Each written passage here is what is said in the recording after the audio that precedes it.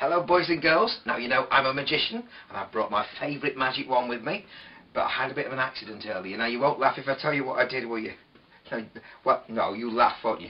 No, but what I did was, I put it down on my chair, and then I forgot, and I, I sat on it. And uh, I thought I might have damaged it, but I think it's okay. Is that looking okay? That's lovely, okay. Now, we're going to do some magic. Uh, to, it's what?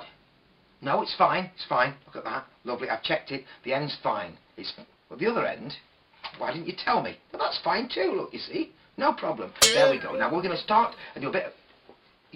Oh! Why didn't you tell me? We'll have to fix that, don't worry. I think I can sort that out. We can sort that out. We'll just put that on there like that. Give it a little screw.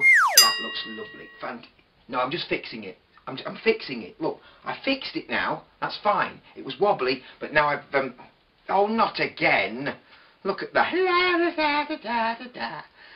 Thanks, Terry Herbert. Um, look at that. Uh, I know, I know. If we just give this a nice, nice little screw there and one little firm tap like that, fantastic. That's lovely. It, oh no! I'm never going to fix this. I think maybe... Oh, don't laugh, it's not funny. Oh, I think we might as well just put this away. I don't think I'm having much luck today. And that's the Tipsy Wand a great comedy wand and a lot of fun in a children's show.